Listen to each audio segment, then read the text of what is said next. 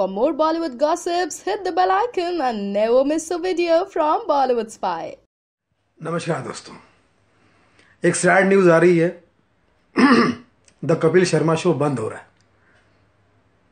होना ही था। कपिल शर्मा पे इतना प्रेशर आ गया इतना टेंशन आ गया इतनी सारी ज़िम्मेदारी आ गई कि वो बीमार रहने लगा। नज़र लग गई उसको।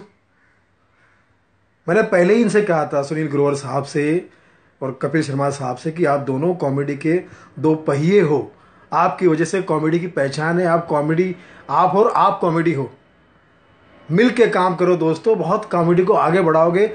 आपकी वजह से कॉमेडियन भी आगे बढ़ेंगे और कॉमेडी भी आगे बढ़ेगी। क्या हुआ? बंद कर दिया शो? हो गई, मिल गई खुशी? सुनील ग्रोवर साहब आपको भी और कपिल शर्मा साहब आपको भी? अब कॉमेडी आ गई उन सो कॉल्ड लोगों के हाथ में। जो कॉमेडी के नाम पे टॉयलेट बाथरूम और बिलो द बेल्ट जाते। उन वो छः सात यूट्यूब के कॉमेडियंस के हाथ में आ गई है हा? हमारा जो दस प्रतिशत गैर जिम्मेदार यूथ जो उनको सब्सक्राइब करता है, पसंद करता है लाइक लाइक करता है और नब्बे प्रतिशत यूथ पे जो जुल्म करता है, ऐसा यूथ जिनको हीरो बनाए बैठा है यूट्यूब के कॉमेडियन के हाथ में आ गई और वो दो चार कॉमेडियन और घूम रहे हैं, उनके हाथ में आ गई। वेरी सैड सुनील ग्रोवर साहब, कपिल शर्मा साहब, बहुत बहुत ही दुखद घटना है ये। आपका शो बंद नहीं होना चाहिए था, आपको सेपरेट नहीं होना चाहिए था, और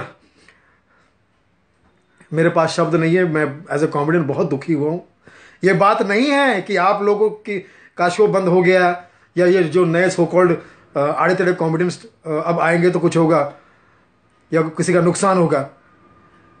लेकिन कहीं ना कहीं घर में बैठे फैमिली ऑडियंस के साथ में अन्याय हुआ है। आप दोनों के अच्छे स्वास्थ्य के लिए मैं शुभकामनाएँ करता हूँ। Get well soon God bless you all the best